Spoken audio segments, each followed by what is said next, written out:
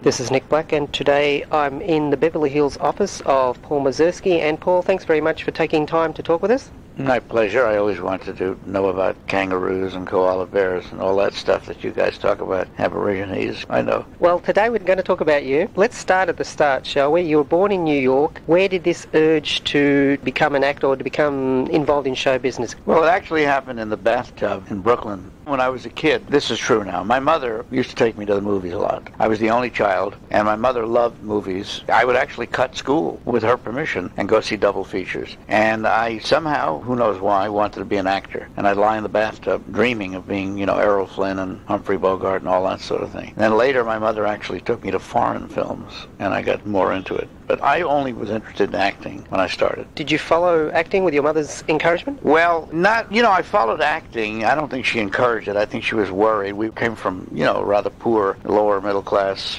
people. When I grew up, my father was, uh, you know, really broke. He was what they call the WPA, Works Progress Administration. That's in the 30s. I think they were nervous when I said I want to be an actor. You're going to be out of work half the time, and they were right. So I fooled around a little bit with maybe getting a teaching license, but I was really only interested in acting. And when I went to college, I went to Brooklyn College. I acted in a lot of plays. When I got out, I was lucky enough to get a part in Stanley Kubrick's first picture called Fear and Desire. How did that come about, Paul? The writer, a guy named Howard Sackler, who later wrote The Great White Hope, saw me in a play. I was still going to Brooklyn College, but I did what would be called an off-Broadway play called He Who Gets Slapped by a Russian playwright named Andreev. And he said, called me up and he said, listen, you don't know me, but I saw you in this play. I wrote a movie. Some friend of mine's doing it. Do you want to go read? I said, yeah, sure. I read, and the guy turned out to be Kubrick. He didn't know much about acting, and he never liked this movie, by the way. It's very hard to see. In fact, that's the only Kubrick movie that the estate has kept to themselves. I had a print of it. I can't find it on video. Someone has borrowed it and stolen it. Eastman Kodak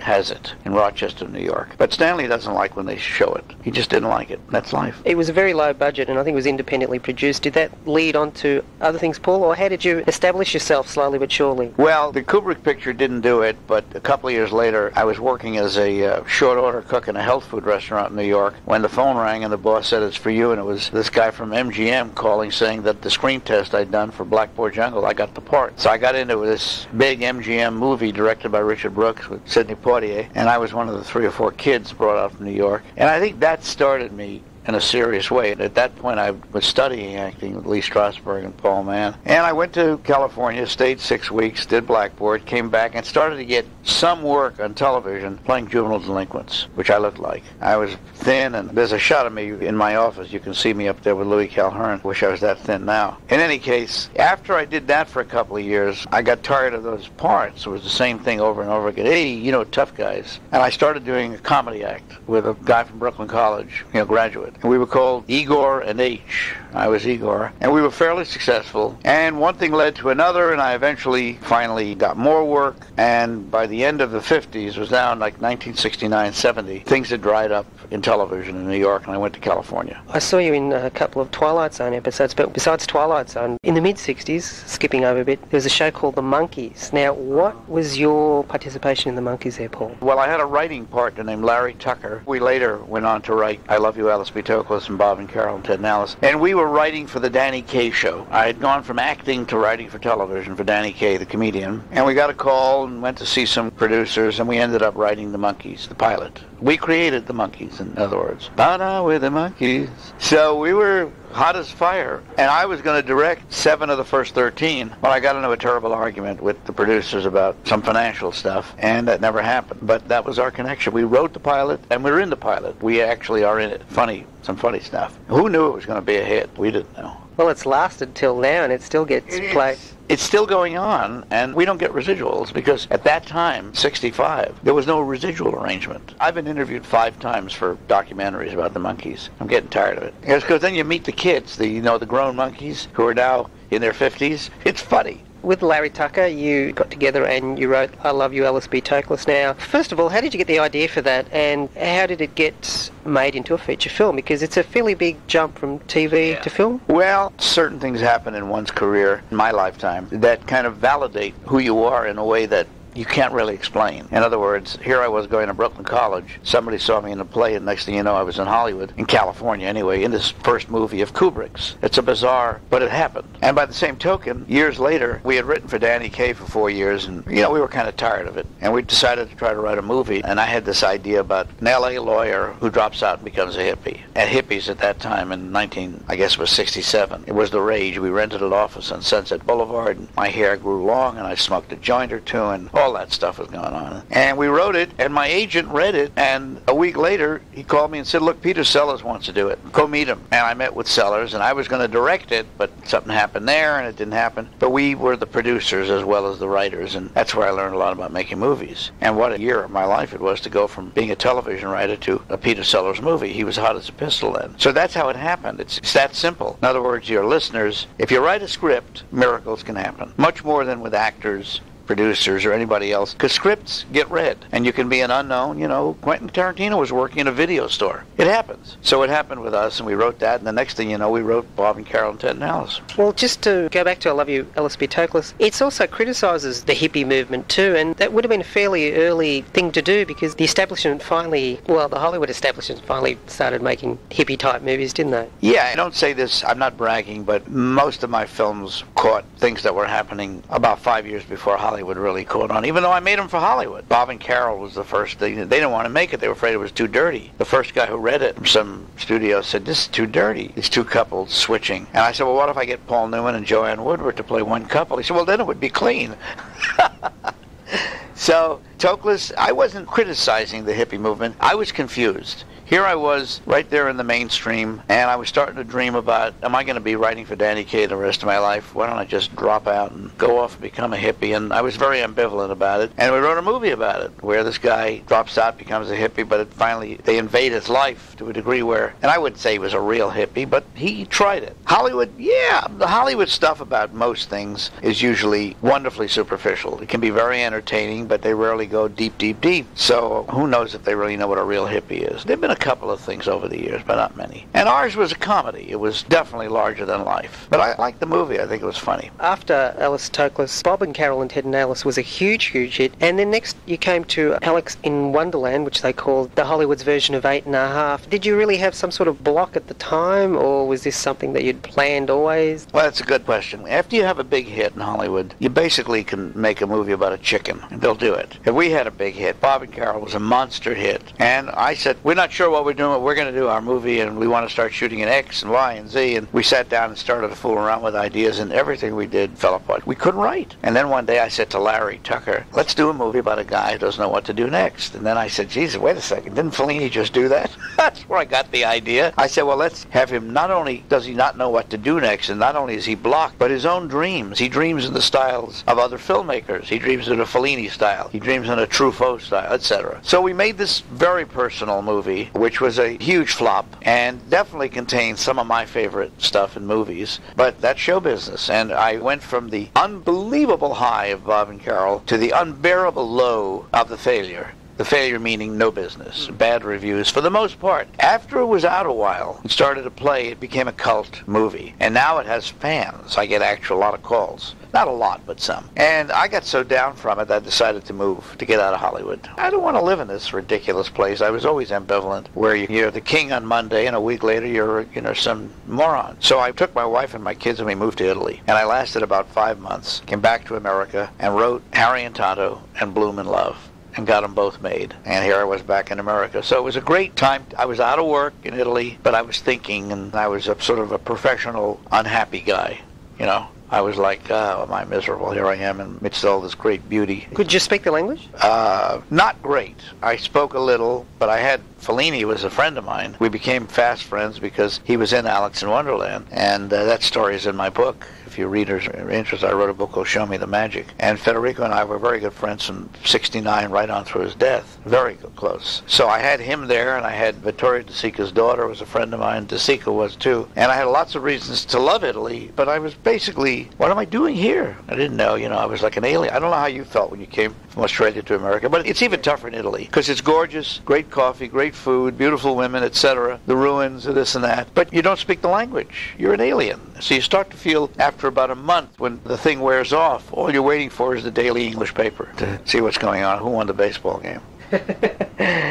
Now, you mentioned Bloom in Love and Harry and Tonto, and after the success of Harry and Tonto, very highly critically acclaimed as well, was Next Stop Greenwich Village. Now, was that strictly autobiographical? Well, Next up, Greenwich Village, after I wrote Bloom in Love myself, I wrote Harry and Tonto with a guy named Josh Greenfeld. And when those were finished, I started fooling around with this Next Stop idea, which was basically my story of being a 21 year old kid who's going to move from his home and his apartment in Brooklyn with his mother and father and move to Greenwich Village. I started to write it, and I had a lot of doubts about it, that it was too personal, because don't forget I'd been killed for Alex in Wonderland. And I showed about a third of the script to Josh Greenfeld, who'd written Harry and Tonto with me, and he said, keep going, and I did. And I made, you know, one of my favorite films. So I must say, it seems to me now that I'm 70, and at that time I was like 40 or something, it seems that it was easier in those days to make whatever I wanted to make as long as the price was low. And those pictures cost like two million bucks. Harry and Tonto cost a million. Today, you never know whether it's ageism or not. It's very hard to get to make pictures like that unless you do them on high definition video or something. They don't make too many personal films. They just don't do it. But I made Next Stop, which was not a success in America, but a big success in Europe and a big success in Latin America. Big. I don't know about Australia. Israel was a huge hit. But, you know, I'm glad I made it. Then I did An Unmarried Woman after that, and that was a big hit. So I was sort of turning them out. Big hit, not so good, big hit, uh, up and down, but I was batting like four out of eight. It's pretty good. Pretty good for Hollywood, yeah. And what happened to Larry Tucker? Larry Tucker, after we did Alex in Wonderland, I came back from shooting the Fellini sequence in Rome, and Larry said that he'd come to this big decision over some weekend and counter therapy, and he decided he was going to go on his own and stuff like that. And we were, you know, very good friends, and he just wanted to go on his own. And he went off. He did a lot of writing for television and stuff like that. He's a wonderful guy and he was very funny. Unmarried woman, Jill Clayburgh is absolutely astounding in that. Paul, was it her or you or a combination? well, Jill was relatively unknown, and the great thing about those days, I again I say this, is I had the power to cast an unknown. I made the movie for Fox. The producer was uh, Alan Ladd Jr. It was his company. He was running Fox. I had seen Jill Clayburgh in Gable and Lombard. That's all. And some other TV movie. She was only 34 and a half. I really wanted someone a little older, but it was both of us. It was the script, it was her, it was me, it was the timing. You know, it was the first movie where a woman sort of declared her independence.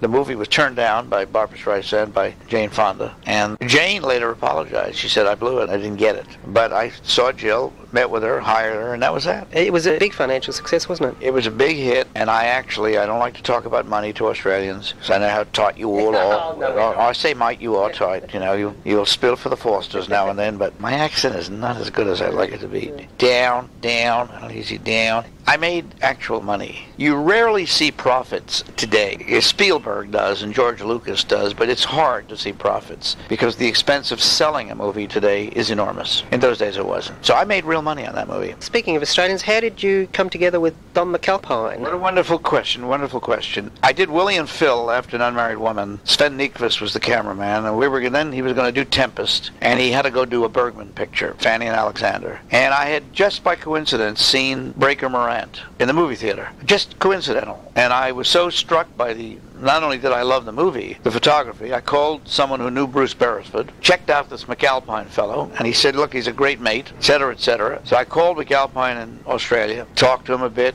hard to understand him. I tell you, his accent was brutally thick. He told your name, he said, oh, yeah, well, I know you. So certainly, also, oh, you're Tempest, I. I said, yeah, Greece, a lot of outdoor, beautiful, blah, blah, blah. So I sent him the script. He sent me a nice letter. I called him back and said, you got the job. I didn't go to see him. I never met him. It's a gamble in a way, but you know, with cinematography, if you've seen their work, and he also did some other wonderful stuff. He did the one with Gillian Armstrong, My Brilliant Career. He was a wonderful camera. He is wonderful. And I met Don for the first time when we arrived in Greece for the location scouting, and I loved him. And it was great. And we did four pictures together: Tempest, Moscow on the Hudson, which I shot in Munich and New York, Moon over Parador, which we did in Brazil, and Down and Out in Beverly Hills, which he did in Beverly Hills, and which I think he should have gotten an Oscar nomination. It's Down and Out, you know, they're all beautifully photographed, but Down and Out is particularly wonderful because it has a satiric edge to it. It's got a gloss and a tone that brilliantly captures the bullshit of Beverly Hills. Let's put it that way. So he's good. And then he's going to do Enemies a Love Story, and Don had a hernia and couldn't do it. So it's a hernia that separated us.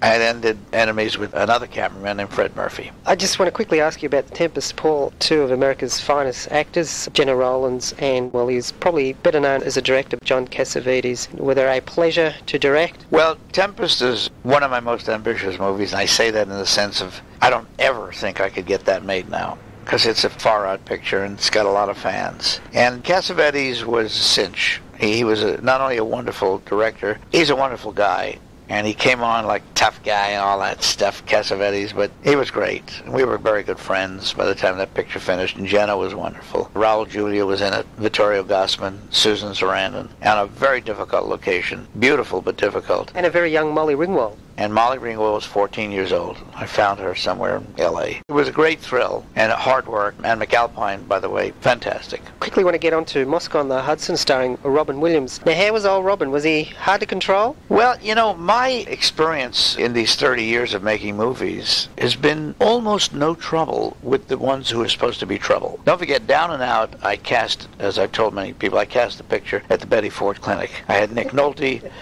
I don't know if you're Australian, they know what the Betty Ford Clinic is. It's a recovery. Rehab. I had Bette Midler, Richard Dreyfuss, who had turned over on a car in Beverly Hills on coke, and Nick Nolte, who, you know, liked to sip the old wine. And no trouble. They were great. And I had no trouble with Robin. Robin was fast, furious, funny, wired, very smart. And I had a little trouble with him in rehearsal because he wanted to do, I thought, shtick shtick, meaning a little more than he had to do. You know, it's about a Russian musician who defects. I think I won the argument, and we got along great. I have a lot of affection for Robin. If I could give him some advice, it's he should go back to doing a couple of simpler things. Anyway, I want to skip on to Scenes from a Mall, which I happened to see with my wife, and we both loved it because we could both identify being long married ourselves. Woody Allen doesn't often act for other people, he only usually acts for himself. How did you get Woody? And it was a great pairing. Well, that's a great story because I never dreamt that I would do a movie with Woody Allen because Woody Allen had only been in one picture that he didn't write, The Front,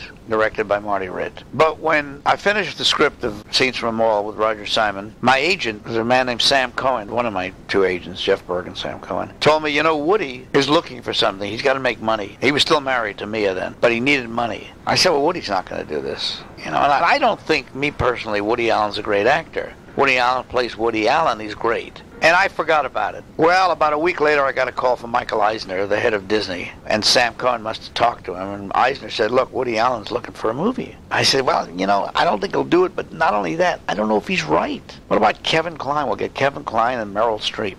And that would have been a more serious, still with humor, but a different movie. Well, he said, let Woody read it. So I gave the script to Sam Cohn, and the next day he called me. Woody read it overnight. Said, okay, I'll do it. Now here I was, what do I do? And I flew to New York to meet him, and I liked him. And I did it. And I got Bette, and she was nervous as hell about doing it. It's a two-character movie. And they were both great. They're just wonderful. No trouble. Woody Allen's biggest thing was he doesn't like to do a lot of takes. When he's in his own movies, I don't think he covers, which means he doesn't get many close-ups. He just one long take and that's it. And I cover. So we had a little bit of a, not argument. He would say, well, can't I go home? I did it already. He was fine. All right. Well, we're just about out of time, Paul. I just want to mention The Pickle and Faithful, and also you did for TV Walter Winchell. Was that for the HBOs or yeah. one of those? Yeah, HBO. I did Winchell with Stanley Tucci, who's a great actor. He's an actor you should all know about. And he's directed a couple of wonderful movies. Faithful, I had Cher, and she was easy to work with, but a pain in the ass afterwards.